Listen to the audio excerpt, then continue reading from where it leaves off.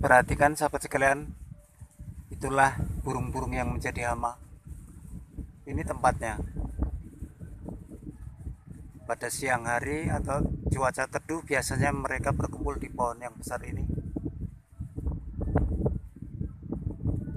Sedangkan ketika cuaca cerah, mereka akan menyebar dan memakan padi yang disemai petani.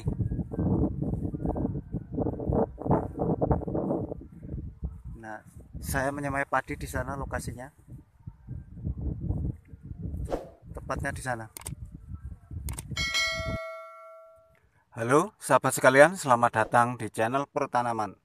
Sahabat sekalian, pada video kali ini Pertanaman akan berbagi tips kepada sahabat sekalian bagaimana cara semai benih padi supaya aman dari gangguan burung pipit maupun burung gereja.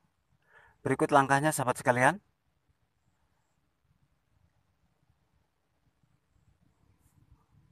Langkah pertama kita siapkan benih padi yang akan kita semai. Ini sudah seperti ini. Jadi benih padi yang kering kita rendam selama satu hari satu malam. Kemudian kita tiriskan selama dua hari dan akan menjadi seperti ini.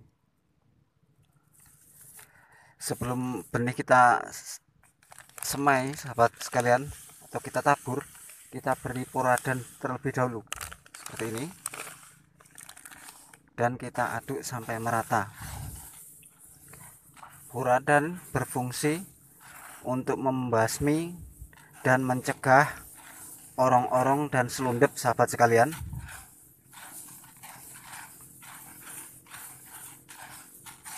Kita aduk sampai merata seperti ini.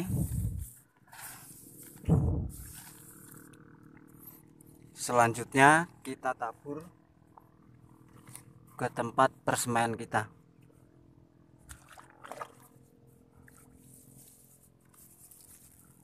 Tabur sampai merata sahabat sekalian. Usahakan merata seperti ini.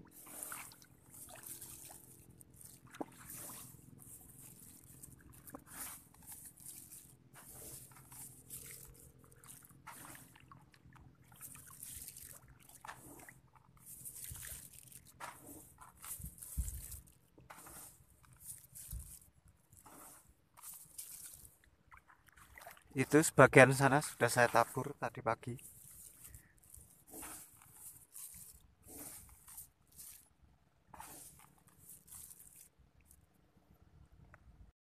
selanjutnya sahabat sekalian setelah kita tabur benih sampai merata kemudian kita bikin lumpur seperti ini dengan air kita tutup benih padi yang sudah kita tabur seperti ini.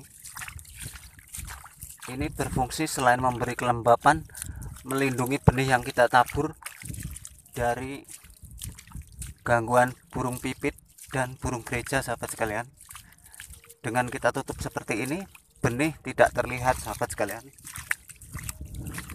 Kita tutup sampai merata. Jadi kita tutup dengan air lumpur seperti ini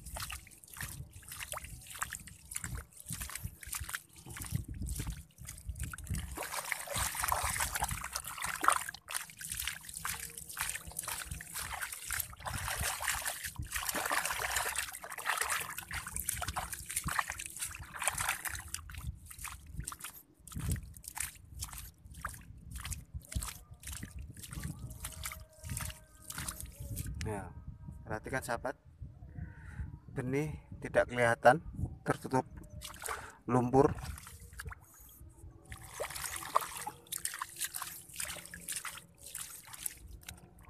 Seperti ini. Dengan demikian burung pipit tidak dapat melihat benih padi. Kita tutup seperti ini sahabat perhatikan benih benar-benar tidak kelihatan. Sehingga persemen kita aman dari serangan burung pipit dan burung gereja sahabat sekalian.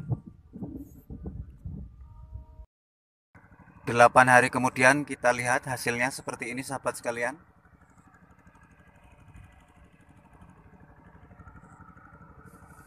Semayan kita sudah aman dari gangguan burung pipit dan burung gereja.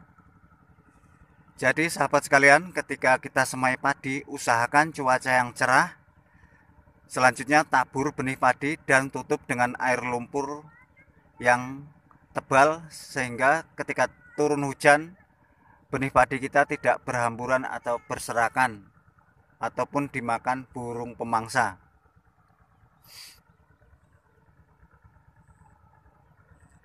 Tadi malam hujan ini petakan perseman saya sudah terisi air.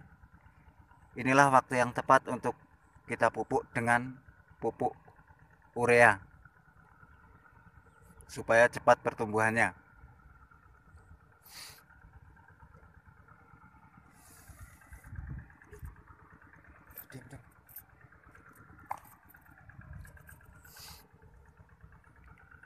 Oke sahabat sekalian demikianlah tips dari saya. Bagaimana cara semai benih padi supaya aman dari gangguan burung pipit dan burung gereja. Semoga bermanfaat dan terima kasih banyak untuk sahabat sekalian yang sudah menyaksikan video saya. Dan jangan lupa like, subscribe, komen, dan share. Terima kasih